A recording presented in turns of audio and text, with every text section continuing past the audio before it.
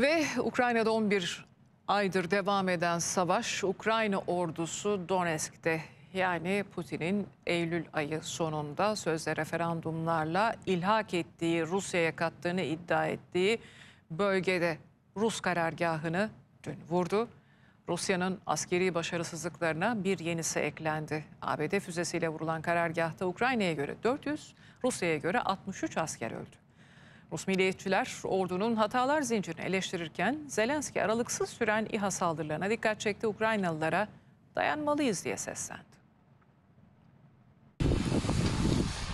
Rusya, Ukrayna'da başlattığı savaşta en ağır kaybını yaşadı. Donetsk'teki Makiyivka kentinde Rus karargahı ABD yapımı HIMARS füzesiyle vuruldu. Ukrayna'ya göre saldırıda yaklaşık 400 Rus askeri öldü. 300 Rus asker de enkaz altında kaldı veya yaralandı. Rusya Savunma Bakanlığı olayı doğruladı ancak can kaybının 63 olduğunu açıkladı. Bu sayı bile Rus ordusunun 11 aydır süren savaşta tek noktada verdiği en büyük kayıp.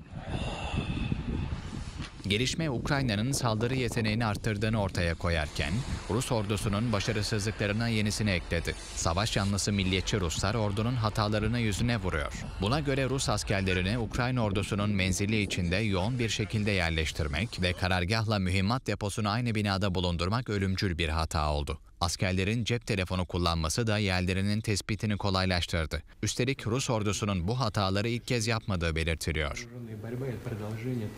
Gözler Rusya Devlet Başkanı Vladimir Putin'e çevrildi. Ancak Putin şu ana kadar orduyla ilgili sorunlar ya da cephedeki başarısızlıkların sorumluluğunu üstlenmedi. Topu hep Savunma Bakanlığı'na attı. Sergey Shoigu ve Genelkurmay Başkanı Valery Gerasimov yoğun baskı altında.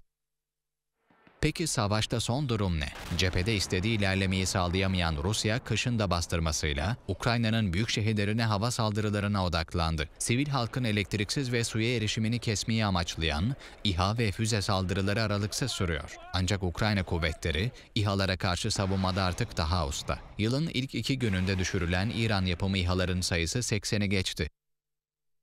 Ukrayna Cumhurbaşkanı Volodymyr Zelenski, İHA saldırılarının daha uzun sürebileceği konusunda halkı uyardı. Rusya bizi yıldırmaya çalışıyor, dayanmalıyız dedi. Rusya'nın İran İHA'larını kullanarak uzun süreli bir saldırı planladığına dair istihbaratımız var. Muhtemelen bizi yıldıracağını sanıyor. Dayanmalıyız. Teröristler bu hedefine de ulaşamayacak. Şimdi gökyüzünü korumakla görevli herkesin çok daha dikkatli olması lazım. Peki özellikle Kiev'de İHA saldırılarına karşı elde edilen başarının arkasında ne var? ABD'nin Kasım ayında Ukrayna'ya verdiği NASAMS sisteminin savunmayı güçlendirdiği sanılıyor.